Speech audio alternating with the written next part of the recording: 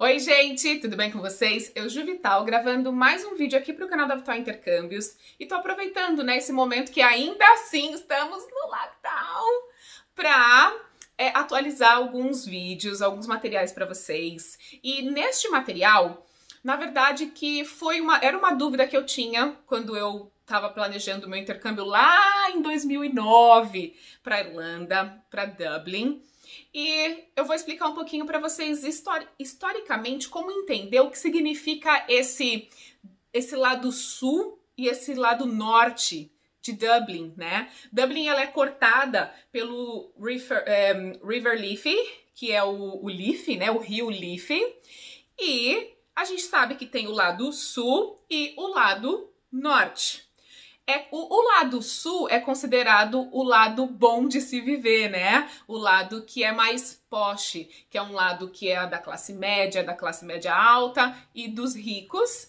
E o lado norte é considerado o lado é, periférico, né? Que se fala também working class mas nem sempre foi assim. Então, cola nesse vídeo para você entender um pouquinho, para você já começar a planejar e entender aí aonde que você vai morar, aonde que você quer morar quando você chegar na Irlanda. Combinado? Cola aqui comigo.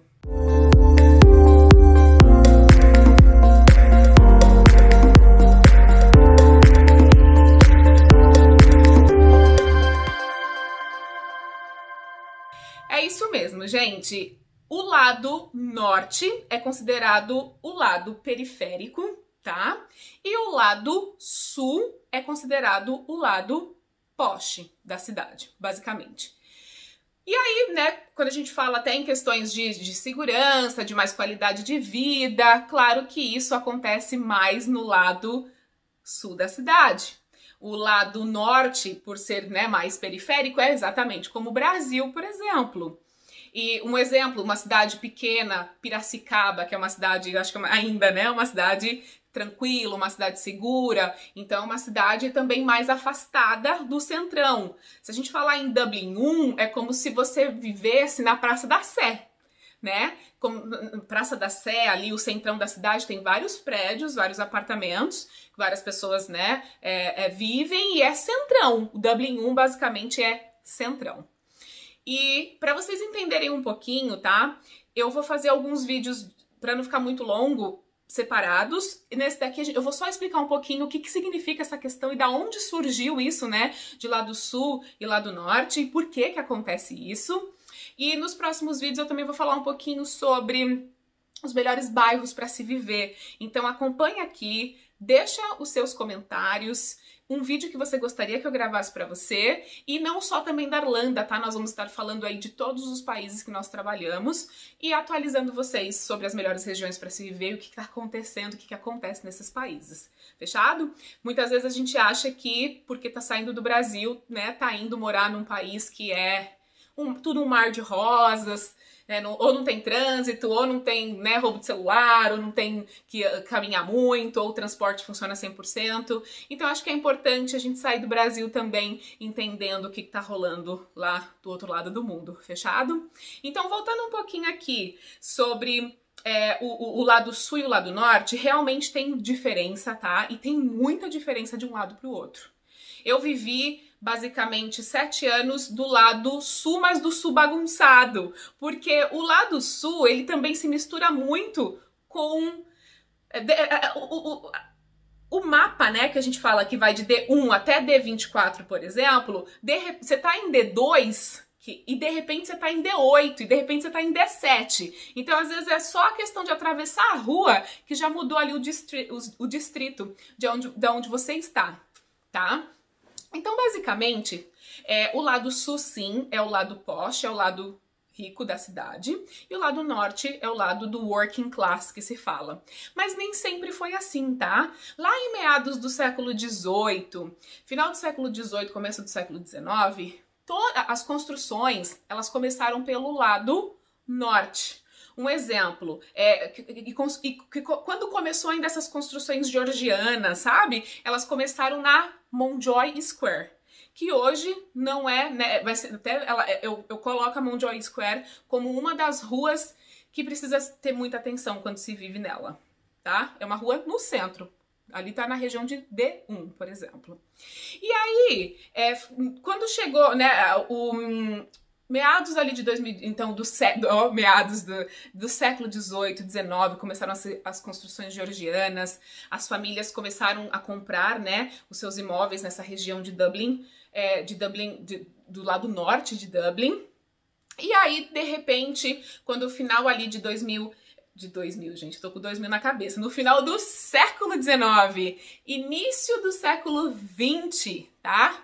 Começam as construções das townhouses. Vou colocar aqui para você a diferença de como é uma construção do lado, tá? Ó, essa foto aqui é uma construção do lado norte. E esta segunda foto, para vocês terem noção, é uma construção do lado sul. As casas do lado sul são sim mais imponentes, tá? Rapidamente, esses moradores do lado norte, tá? Se mudaram, migraram para o lado sul. E aquelas casas que ficaram do lado norte começaram a ser ocupadas, né, pelo working class, pela classe é, trabalhadora. E para vocês terem noção, até quando a gente fala né, desse problema que tem de moradia, de encontrar moradia é, na Irlanda, é, que, que, são, né, às vezes, cinco, cinco estudantes, por exemplo, morando, é, dividindo quarto e tudo mais, para vocês terem noção, esse papo é antigo, esse papo é muito velho. Para você, eu, eu anotei aqui, ó, em meados de 1911, tá? Dublin tinha os, as piores condições de moradia comparado com qualquer área urbana de United Kingdom, com 835 pessoas morando em 15 casas. Oi? Não fui eu que inventei isso daqui, vou colocar a fonte aqui na descrição do vídeo para vocês lerem com os próprios, né, com os próprios olhos. E para vocês terem noção, essa galera rica, né? Classe média alta e os ricos se, se mudam para o lado sul e a classe operária, a classe trabalhadora, fica do lado norte, cortada ali pelo Leaf. E para vocês terem noção, o, um do, né, um, eu peguei alguns reports aqui da internet. No ano de 2015 foram feitos vários reports e se mostrava que essa, essas condições né, que o lado norte ele tem menos vantagens econômicas do que o lado sul, se repetia e na verdade que se repete até hoje. Nós estamos em 2021 e é muito claro, é muito óbvio a diferença entre morar entre morar no lado norte e no sul, né? É a diferença, né, social mesmo falando desses dois lados da cidade. E no próximo vídeo eu vou falar um pouquinho para vocês sobre as melhores uh, lugares para se viver e os piores lugares para se viver em Dublin. Vai ser uma série bem legal. Eu queria que você deixasse aqui os seus comentários e vai ser um prazer estar aqui compartilhando, vamos atualizando, vamos organizando a vida até a hora que os embarques iniciarem, vocês estão 100% alinhados, combinado? Um beijo. Se você não se inscreveu ainda no canal, se inscreve. Compartilhe esse vídeo com a galera. E, gente, fiquem todos com Deus, se cuidem e viajar é vital. Até o próximo vídeo.